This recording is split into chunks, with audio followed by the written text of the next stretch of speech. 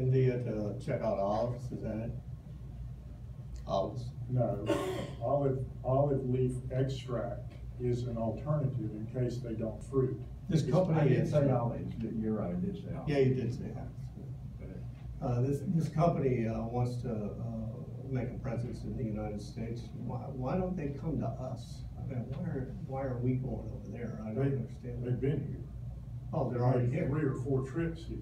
It- Most of their manufacturing operations are in India, so, you know, if we were going to do something or move forward with them, it would be a, it would be a vetting trip to go see their current operations and what their processes are, uh, to see if it would be an appropriate fit for Hardee County.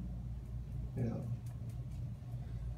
Because this, this olive thing and this research thing that you were talking about before, uh, I, I've looked at a lot of alternative, uh, crops to citrus.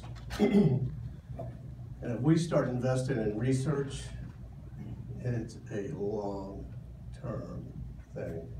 It's not this year, next year, the year after, 10, 12, 15 years. You know, researchers, that's what they do. They don't research and then stop. That's their life. And they've been researching things like pomegranates and uh, blueberries, peaches, macadamia nuts. There's already a presence of those here. Olives are on the ground floor, just starting. So if we invest in this, our money, it's gonna be long-term and millions of dollars over the years. It's not a win-win. IFAS is already researching it.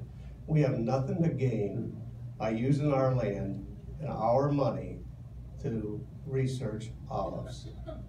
And I don't think we got much to gain by sending a group to India to look at their operation. I mean, you don't need to go there to know it. You can do, you can do that here. I mean, I just think it's throwing money into the wind. But we seem to do a lot of that.